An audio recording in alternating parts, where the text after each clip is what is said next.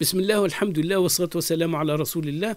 Mes chers frères et sœurs, salam alaikum wa rahmatullah. Voilà, nous sommes donc pour le troisième épisode de Sirat Rasulullah sallallahu alayhi wa sallam, ce grand prophète, ce grand messager qui est une bénédiction, une miséricorde. Wa ma arsalnaka illa rahmatan alamin. Et nous ne t'avons envoyé que comme une miséricorde pour le- les mondes au pluriel, les mondes.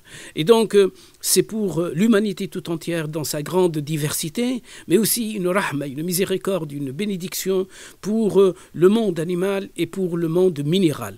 Et je vais vous raconter trois histoires de sa sirat Rasulullah qui illu- illustrent parfaitement sa rahma, sa bénédiction et sa miséricorde.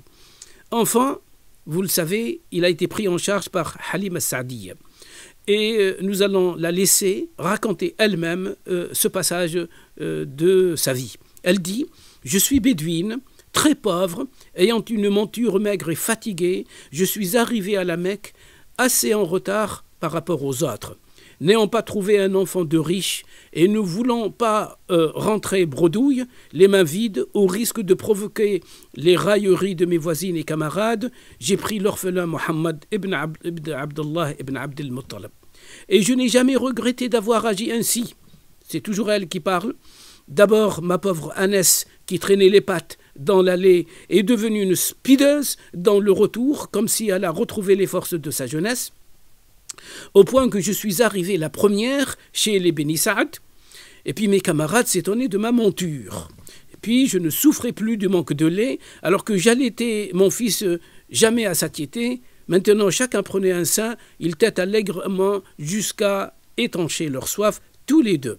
Et puis j'ai remarqué aussi, notre terre, habituellement aride ou presque, est devenue toute verte. Mon troupeau brouté à volonté, provoquant ainsi la jalousie de mes voisins. J'ai compris que cet enfant est d'une grande bénédiction et je me suis attaché à lui au point de ne plus imaginer un jour me séparer de lui. La deuxième histoire, c'est le prophète qui avait l'habitude de s'adosser à un tronc de palmier lors de ses discours, de ses prêches, et quand la mosquée s'est élargie et quand le nombre des fidèles a vite augmenté, un compagnon menuisier lui propose de lui confectionner une chaire de trois marches pour ses prêches. Ainsi, il sera vu par tout le monde et sa voix portera mieux dans la mosquée. Et Rasulullah accepta la proposition. La chair fut prête, le prophète y monta. À peine commencé son prêche qu'un gémissement se fit entendre par tout le monde. Le prophète prêta un peu plus d'attention et le gémissement sortait d'un tronc d'arbre, du tronc d'arbre auquel il s'adossait, auquel il avait l'habitude de s'adosser, et qui s'est senti malheureusement délaissé. Alors le prophète coupa sa- son prêche, descendit vers le tronc, le prit dans ses bras et lui chuchote en lui disant Si tu arrêtes de gémir, tu seras avec moi, mon compagnon, avec moi dans le paradis. Et le tronc se tut.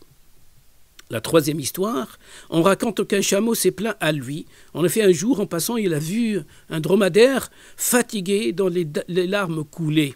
Il s'est approché de lui et lui a prêté son oreille et le dromadaire lui a confié toutes ses souffrances. Alors il s'est adressé à son maître pour lui reprocher sa conduite avec son animal. Tu le fais porter plus qu'il en peut, tu ne lui donnes pas assez de manger et tu lui fais des misères. Sache que tu en rendras compte auprès de Dieu le jour du jugement. Et c'est lui qui rajoute plus tard que وَفِي كُلِّ ذِي رَطْبَةٍ وَفِي كُلِّ ذِي كَبِدٍ رَطْبَةٍ صَدَقَةٍ c'est-à-dire, et dans tout être vivant, il y a une sadaqa. Voilà comment Rasulullah sallallahu alayhi wa sallam, il est une bénédiction, une rahma pour tous les mondes, le monde humain, le monde animal et le monde végétal et le monde minéral. Merci, barakallahu fikum, et Inch'Allah, à la prochaine. الحبيب وكلنا لك نعشق